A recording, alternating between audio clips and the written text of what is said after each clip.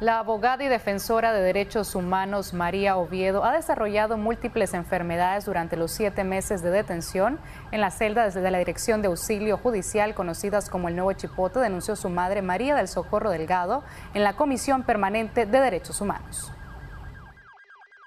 Fue dirigido a la vicepresidenta Rosario Murillo, la madre de la defensora de derechos humanos y presa política, doctora María del Socorro Oviedo, condenada a ocho años de cárcel, pide misericordia debido al estado crítico de salud de su hija.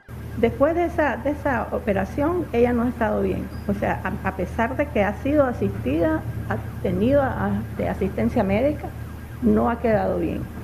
No sé por qué, será el estrés carcelario, pero no está bien. Después se le viene una infección urinaria que también fue atendida por los médicos y no ha podido sanar. Ahí está esa infección que perdura, ha tomado medicamentos cantidad y me preocupa porque tanto medicamento y no prospera. Entonces, por eso yo pues, bueno, falta, su piel se está deteriorando bastante. No sé a qué se deba.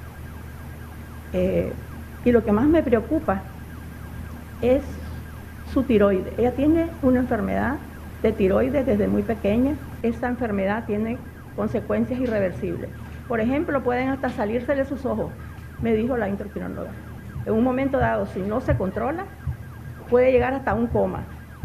Entonces, eso a mí me aterra, eso a mí me preocupa, que ahí pueda pasarle cualquier cosa y yo no pueda atenderla. Mi petición es a doña Rosario que tenga misericordia, que me la dé con las medidas que, que, en este caso son pues arresto domiciliario, para yo poderla atender, para yo poderla llevar, que llegue el médico a atenderla de todas las afecciones que tiene en este momento, que no ha podido superarla. El deterioro físico de la doctora Oviedo es lamentable, según la señora María del Socorro Delgado, quien agradeció la encarcelación de los últimos reos políticos. También debo reconocer y agradecerle y agradecerle al gobierno la buena voluntad que tuvo para liberar a cinco personas mayores con enfermedades crónicas que ya están libres y están al buen cuidado de sus familiares. Eso hay que agradecérselo y lo, y lo digo pues de corazón. Yo se, le agradezco de parte de la familia y de parte mía en personal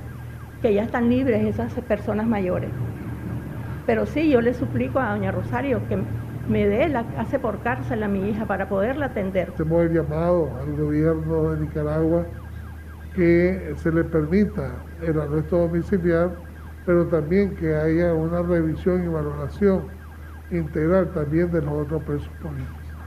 Es decir, aquí en Nicaragua eh, necesitamos avanzar, necesitamos eh, desarrollar el país y no se puede avanzar cuando hay una situación tensa en el país que estamos viviendo y si le agregamos a la situación que estamos viendo en el mundo entero, definitivamente no contribuye.